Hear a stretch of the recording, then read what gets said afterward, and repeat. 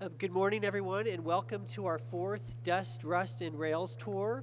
Um, last January, I, I went out with, with Bart and we met with the Federal Transit Administration and we invited um, Administrator Rogoff out here to, to show all the needs that BART faces. And the advice was first go out and, and share this information with your elected officials and your local, um, local representatives, and then we'll come out. Well, that's exactly what we did. We've had three tours before today, and over 100 um, elected officials have participated on these tours thanks to the advice from Mr. Rogoff. We've had state senators, um, assembly members, members of Congress, and, and um, various advocates from different um, people advocating for transit on diff for different levels. So we're and we're very thrilled today to have Administrator Rogoff and, and Congresswoman Lee and, and a member of the Oakland um, the, Hayward City Council, Olden Henson, with us today. The point of, of today's event is that in order to preserve the transit system that we have, we must um, reinvest and prioritize a state of good repair um, by in the nation. So BART is 40 years, about 40 years today, but for BART to be around for the next 40 years, we have to reinvest in the plant. There, there is a place for expansion, but there's also a place to keep this system that we have going in order for it to remain um, on time and reliable. So today we have um, various members of different representatives here. We had, um, unfortunately, had to leave, but he was here earlier today, Congressman Pete Stark. We have, that'll be speaking later, Congresswoman Barbara Lee. Um, we, uh, we have representatives from Congressman Jerry McNerney's office, Congressman George Miller, Mike Honda, State Senator Loni Hancock, and Supervisor um, Nadia Lockyer.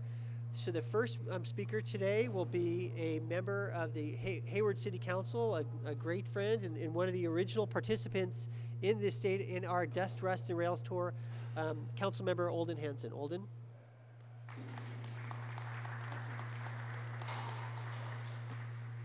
Thank you, Director uh, Franklin. And uh, let me just say I'm honored to be in the presence of uh, Congresswoman Lee and Administrator Rogoff. Thank you all and welcome to Hayward this morning. Uh, also, there's another director, Director Raburn is here as well. Um, once again, this is my second uh, uh, tour down here, and each time I am more impressed with the ability of the employees to make old technology work and keep us safe and running out there every day. So let me thank you all for all of your tremendous efforts. I'm also honored to be a part of a, a county that is truly a self-help county. Alameda County is a self-help county.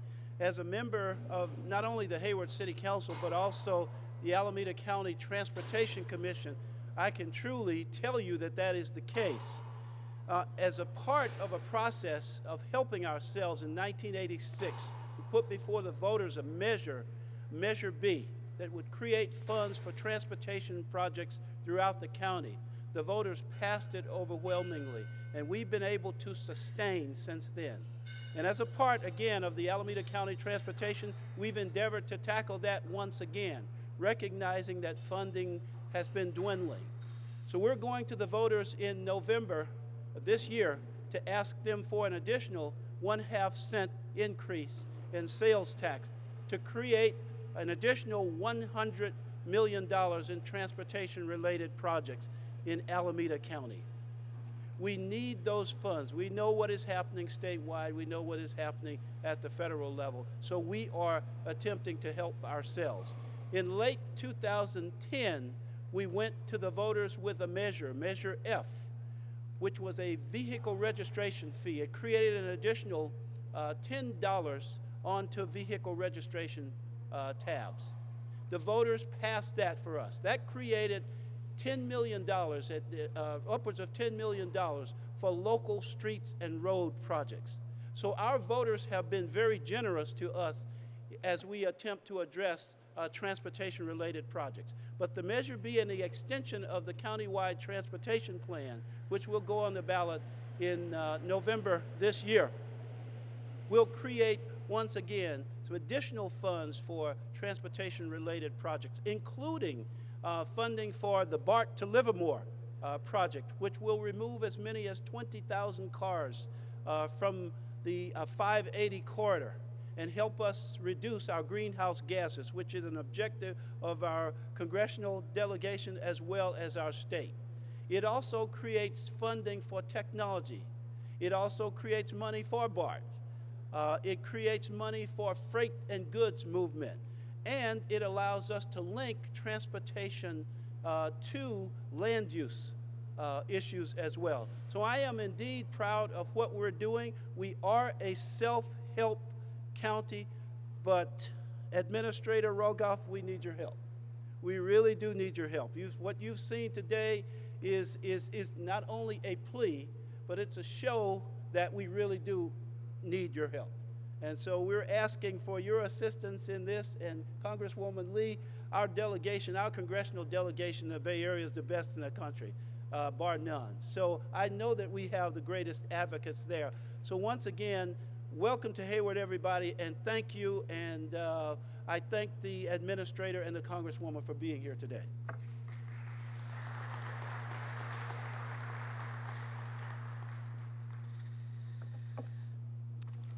So it is, it is my pleasure to introduce our next speaker, the Administrator of the Federal Transit Administration, Peter Rogoff. Um, since his arrival three years ago, Mr. Rogoff has boosted funding for transit through unprecedented initiatives like the American Recovery and Reinvestment Act. He also has spent 14 years as, as the Democratic Staff Director for the Transportation Subcommittee, which has demonstrated his commitment to public transit. And, and on a personal note, Administrator Rogoff has played a pivotal role in changing the culture here at BART. Um, prior to 2009, quite frankly, Title VI was a check a checkbox that we had to go through on our, when we uh, reviewed policies. But because of um, Administrator Rogoff, we take it seriously, and just about every decision, every board meeting, uh, we, we look at Title VI um, implications and how, it, how all, all of our decisions impacts everyone. And because of that, we are making better decisions because, because of that um, initiative. So I personally have to thank, once again publicly, Administrator Rogoff for leading the way. Um, so please give a warm welcome to our friend and Federal Transit Administrator, Peter Rogoff.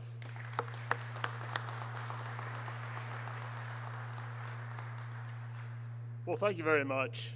Uh, it's important to remember that the year that BART opened its doors was the same year that Richard Nixon made his historic trip to China. And at that time, the price of gasoline was 36 cents a gallon. Uh, I'm here in the Bay Area uh, for many things. This one is perhaps the most important. Tomorrow we are going to break ground on an extension of BART down to San Jose. And the Federal Transit Administration, as part of that project, is committing some $900 million to a $2.3 billion expansion of BART. But what this facility shows us and what the conditions that BART riders are experiencing every day show us is that it's not enough just to invest in a systems expansion. What is absolutely critical is that we reinvest in its ongoing needs. President Obama has articulated a policy to deal with higher gas prices. It's an all of the above policy. It includes, it includes expanded oil and gas exploration. It includes investment in wind and solar power. It also includes investment in seeing to it that transit is a real option for more Americans. That's what BART to San Jose is going to do. But in order for transit to be a real meaningful option for people to avoid the pain at the gas pump, that service needs to be reliable and desirable. Absent reinvesting in systems like BART, in the major maintenance, the replacement of rail cars that are now the oldest rail cars running in the United States. If we don't replace those rail cars, transit will no longer be a meaningful and real option to avoiding the pain at the gas pump.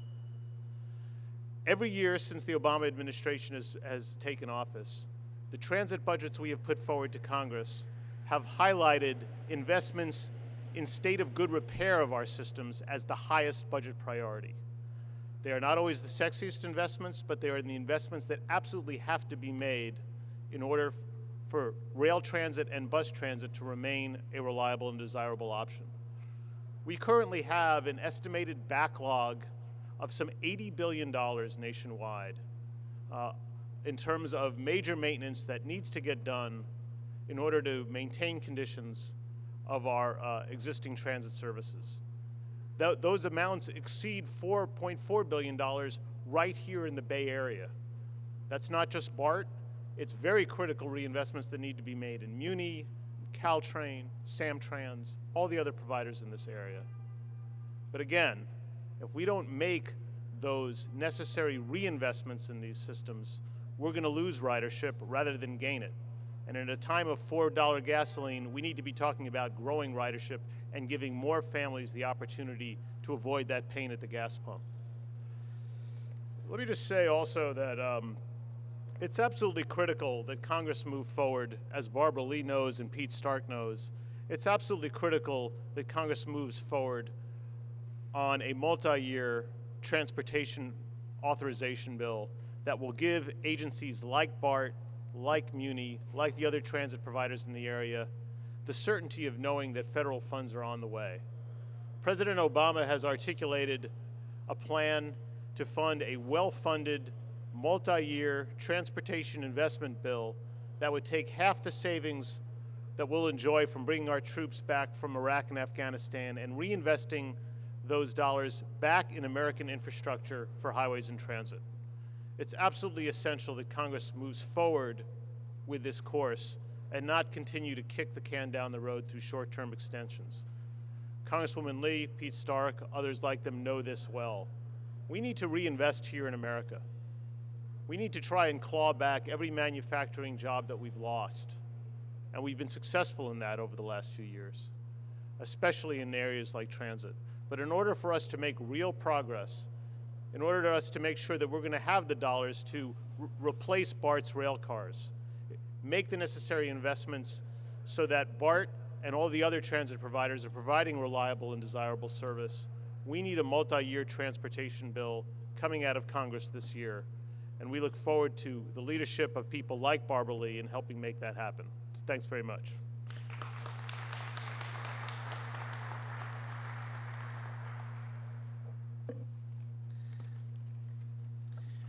Um, our, our, next speakers will be Congressman, um, Congresswoman Barbara Lee.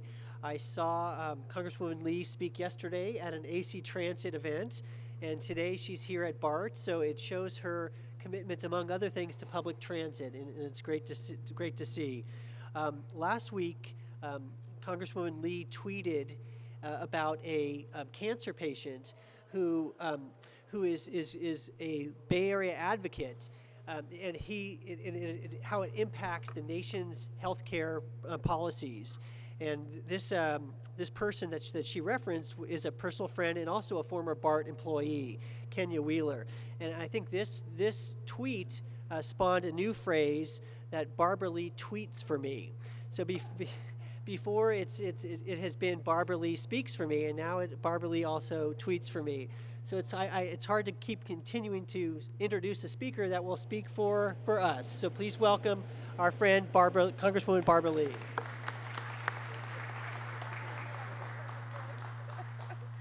Thank you, Bob, very much for that very spirited introduction, but thank you so much, uh, yourself and Olden, for your leadership, tremendous leadership. Also, I just have to thank our regional administrator, Rogers, for really uh, managing a wonderful region, but also for being always available to help us uh, in terms of our constituent needs and giving us input and insight into what we need to know. So thank you again.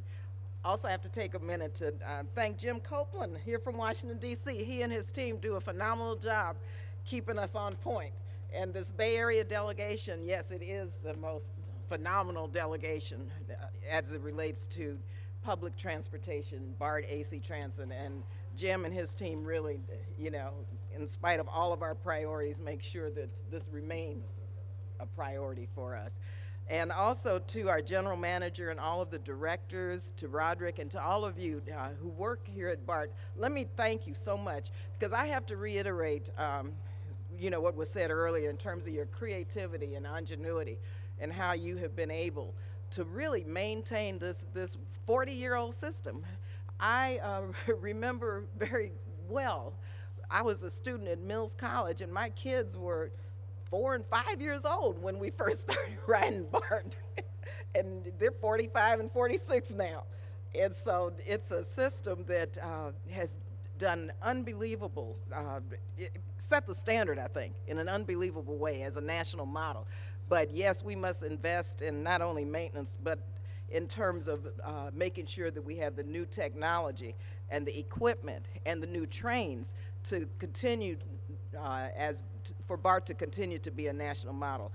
To Administrator Rogoff, let me just thank you so much for being here and for your unbelievable commitment and leadership to public transportation, especially BART. You know, uh, we went through quite a struggle with the BART connector, but this administrator Rogoff, he hung in there. You could have walked away, and he didn't. We had late, late night phone calls, and all kinds of negotiations took place.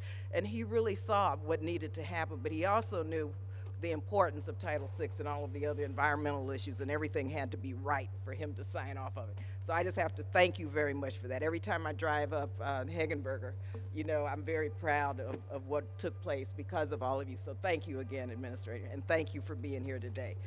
Finally, let me just um, close by saying uh, how important what the administrator said about the transportation bill, a long-term transportation bill is. And I have to just thank Senator Boxer because she did a phenomenal job in the Senate negotiating what we thought was the best possible bill given the political realities, and you know what I'm talking about, of what we're dealing with in Washington, D.C. Unfortunately, when it got back to the House, you know what happened.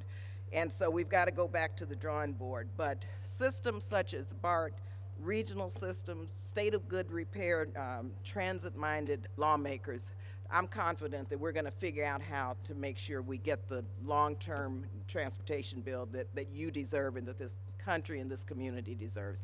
So thank you again so much for inviting me to be with you today. That was a very good suggestion, Administrator Rogoff, to have elected officials come look at the maintenance centers, you know, of BART because we, uh, this is my first visit here, and I, I just want to tell you how, first of all, impressed I am what takes place here and what the work, what goes into maintaining this, this safe system. But it's also very clear to me that we need upgrades and modern equipment and modern technology. And we never would have seen this had we not been here today. We would have, Jim would have told us that and we would have read about it, but now we have a chance to really see it and understand it very clearly. So thank you again. Thank you all.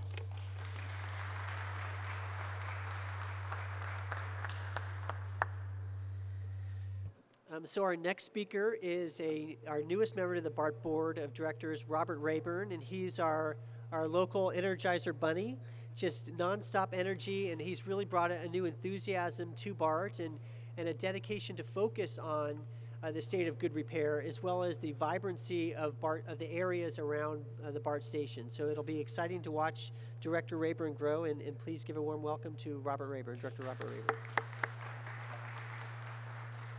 Thank you, Bob. Thank you, everyone, for coming out. I appreciate that we have Director Rogoff, that we have our Congressman Lee here with us today.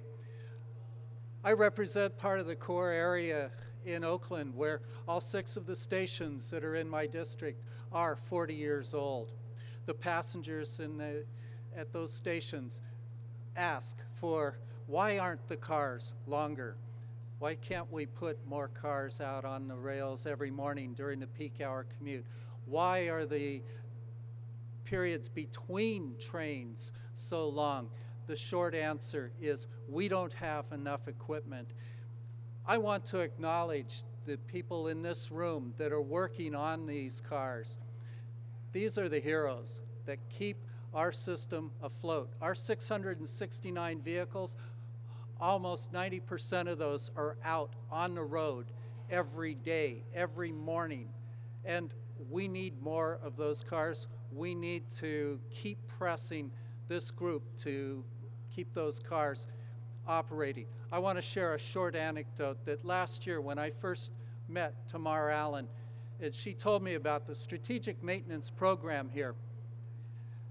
I learned that we have a new policy where we're not just running our cars until they fail, that we want to run them all through a program first to make sure that they're ready to provide reliable service. And so I asked her, Tamar, within a year, will your strategic maintenance program allow us to return to a 15 minute headway so our passengers won't stand on the platform waiting longer than 15 minutes? She said, Give me a year, I'll let you know. Well, I asked her again this year, and she said, I'm sorry, Director, but we're not ready yet to return to that level of service. We need those new cars. We're going to be pushing ever harder to make this shop work day and night, along with our four, three other shops, to keep those cars on the road. A bit of optimism is that in the core area, we are experiencing record ridership on a daily basis right now.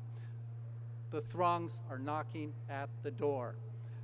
We are seeing a new generation that wants to ride, that they are becoming transit dependent. You've read about a story recently that more and more students coming out of high school and college, they're eschewing the driver's license. They want to be our passengers. We don't have the capacity right now to deliver. And so I'm going to be setting our priorities as state of good repair and get this new fleet of cars so that we can provide for the needs where people have already said, I'm hooked, I want to take transit. Thank you.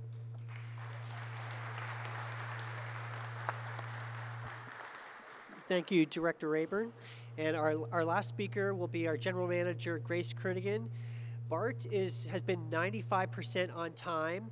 We have a operating ratio of 72%, which means that 72% of, of our operating budget is comes from our passengers and other fares and other fees. Um, so we, we are, we're doing very well as an agency. And yet we have a new general manager who has brought fresh air to this organization, a breath of fresh air to this organization. She's re examined the, the need to make this an even safer system, an even more accessible system. It's been a great pleasure to see um, Grace be, take, take over and take charge of this organization and lead us into a, a new direction. Please welcome uh, our new general manager, Grace Crunican. Thank you, Bob. I thought when you were starting with the on-time thing, you were going to say something about me being late or something, and I was hopefully I wasn't. But uh, the first thing I want to do is thank Peter Rogoff, his leadership, the leadership of Secretary Ray LaHood and President Obama for standing behind transit and the role that it plays in people's lives and in the economy of this country. There are other people that would have buckled and in these tough budget times not made the stand that they have for improving the infrastructure of this country and making the connection to everybody's daily life. And they have done a marvelous job showing the leadership here, and I want you to give them a round of applause because they've done a hell of a job. Thank you, Peter. Second thing I want to tell you is our customers, when they fill out customer survey cards, and we're talking to them all the time, the number one thing they mention is reliability. They ride BART because they know it's going to be there and they know it's going to take them to their destination. What you saw here was a state of good repair. It's the work of the workers at BART and the management at BART doing the best they can to take the budget they have and make those cars deliver the services that our customers expect of us. Now, what we have is about a 600 plus million dollar operating budget, and of that, 45 million comes from the federal government. And when Peter and Secretary LaHood and the president stand up for transit, they're standing up for 45 million of that 600 million dollar budget every year that we count on. So it's very critical. Our members of Congress, the delegation from the Bay Area, uh, represented here today uh, by Congressman Pete Stark and uh, uh uh, Barbara Lee have been stood by us and stood by the administration in trying to bring these dollars home. And this congressional delegation has done an outstanding job working in partnership uh, with the administration, and that's very critical to our success here. Now, as we move on and we're trying to continue to provide that speed and reliability, these cars can't last forever. And I tell you, this crew that's here today has done a great job of stringing these things together and finding new ways to keep them going. And, and Congressman Lee mentioned the creativity that's been done. But what we have to do is we have to buy some new cars. We have the oldest fleet in the nation, which is what Peter talked about, and that oldest fleet has to be replaced. So we are bringing to the BART board in the next couple of months a proposal to replace those cars. We've gone through the process, and in that process, we, we actually took a step back just for a minute in order to take advantage of some legislation that was passed by the delegation here in California and signed by the, the governor uh, to allow us to increase our Buy America provisions. So what we did is reconstruct our bidding process to allow that Buy America piece to come in and have it go up. At the federal level, 60% needs to be Buy America, but, but due to the good work of the uh, uh, assembly here and the governor, we're able to add an increment and provide some rewards for doing more. So we won't be able to make those announcements till we've gone through all of our all the process that we have to go through in order to validate the work um, of the bids and the work we've done.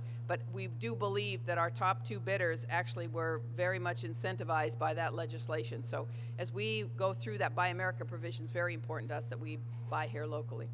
The last thing I want to say is that uh, the team that you see before you here today is a team at the state level, it's a team at the federal level of both the administration, the Congress, and BART. And it really takes everybody, our union members, our management team, to work together to deliver the service that the customers expect. And I really want to applaud everyone for taking the time to come out and kind of look at our undercarriage here and what it takes to actually run the system because it's not a pretty site, but it's a really solid site. And I really want to thank all of you that are partners here today. So thank you very much. This concludes our conference. Thank you.